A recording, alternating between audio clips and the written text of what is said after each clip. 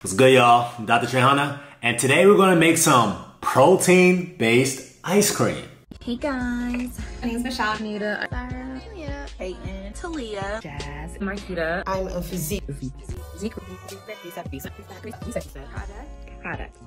product, Product. Period.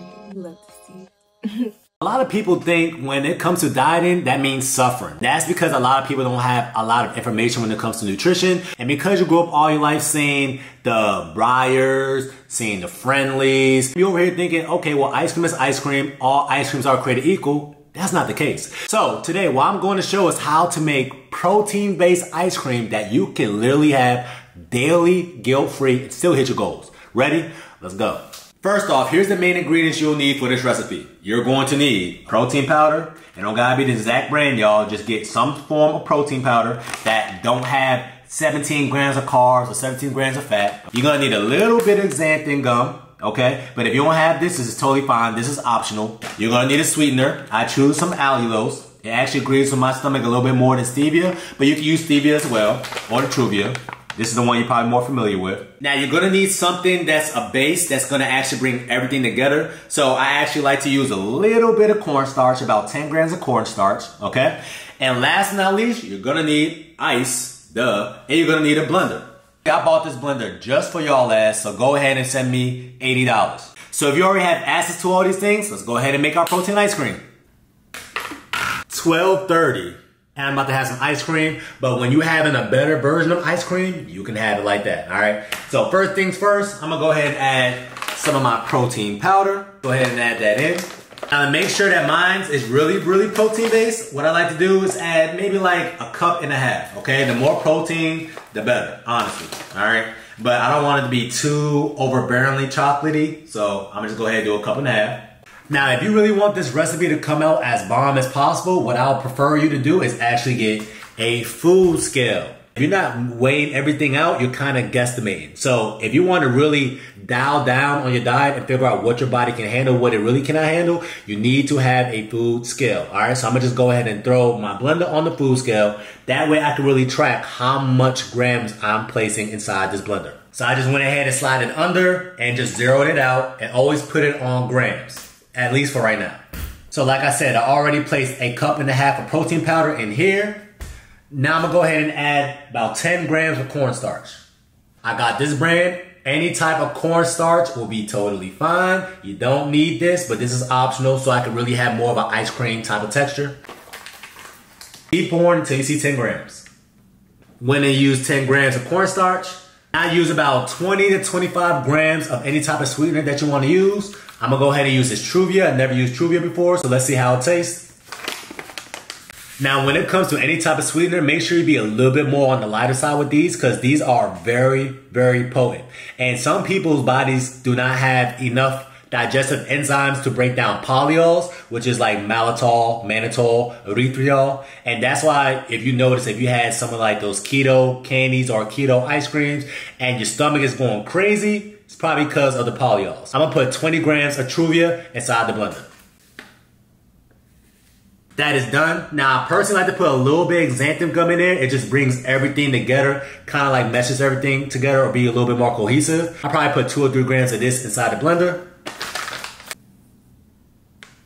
Now you want to use 80% of your milk. So I actually have this Carb Master milk that's only at Kroger. So if you cannot get your hands on this milk, just try to find a better protein based milk or cereal milk. This is a preference, but sometimes I like to go ahead and use this um, instead of an actual milk. That way it's a little bit more protein based than that. So I'm gonna pour 80 grams of this. Now, as a personal preference, I like my ice cream to be a little bit more on the flavorful side. So I'm gonna go ahead and throw in some vanilla extract inside of it. A little splash, nothing crazy. That was three grams if you're a stickler. And last but not least, what is ice cream without any ice? Putting about 250 to 500 grams of ice inside this blender. Yeah, I'm raw dogging the ice, so don't judge.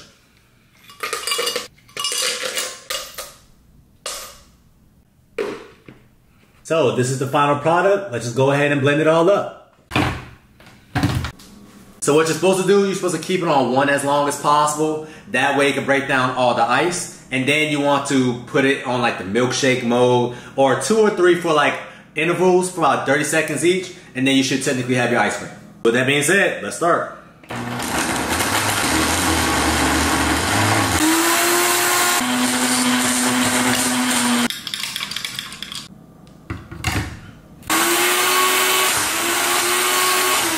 I don't think supposed to doing all that, but F it. Alright, y'all, look. I think I really broke it this time. Look. You see this joint flashing? What the hell? What the hell do that mean?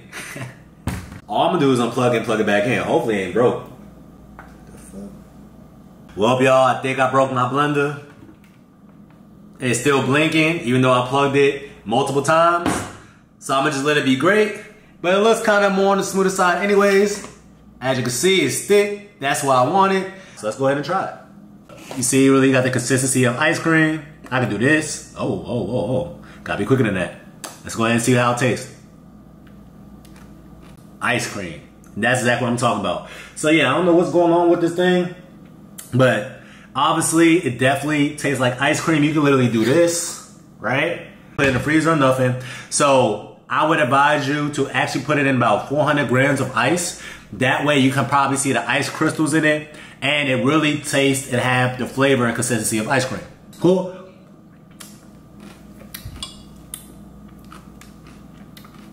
And just so you have an idea of how crazy this concoction is, this whole entire container has about max three to 400 calories all in. Equivalent of you having one cookie. Would you rather have all of this or one cookie? You know? And you can eat it straight out the blender like this and you can eat it guilt-free because it's protein based. So one thing I want you to remember for the rest of your life, go ahead and make anything protein based on average. Especially if it's man-made. I've never seen an ice cream tree before, you know? You can't make a potato protein based because a potato naturally is a carb and it comes from the earth like that. Make anything protein based is just the fact that majority of the ice cream that you come across, Cold Stone, Haagen-Dazs, Breyers, Baskin Robbins, they're not gonna be protein based based off the ingredients that they're using. Cool? Hope y'all learned something today. This is amazing, by the way. And that's your reset tip of the day. It's gonna be Stay Snatch all time, not in summertime. Talk to y'all soon.